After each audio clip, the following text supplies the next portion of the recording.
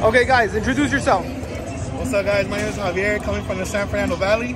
This is Enrique Cortez from Van Nuys, California. Noe Contreras from Tacoma. You watched Mayweather yesterday. What did you see? He looked great, huh? Yeah, he did. Tell He me looked about really it. He looked strong. Um, I mean, he, he did fight a sparring partner. He made him look good. I mean, again, I already seen him fight. I've seen both of them fight. I've seen I've seen them spar. but if Mayweather came back, who do you want to see him fight? Him and Crawford, what happens? Him and Boots Ennis?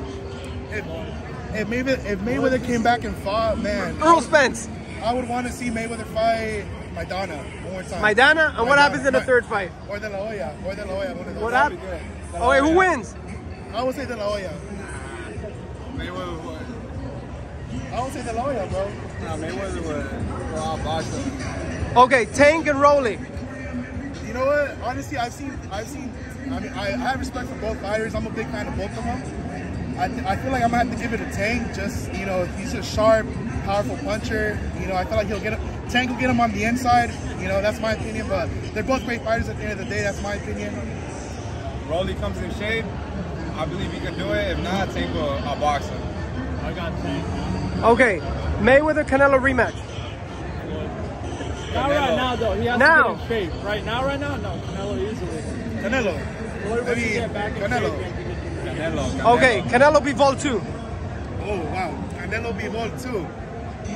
At 168, that's probably gonna be one of the best best fights that's that's ever gonna be pay per view, no doubt.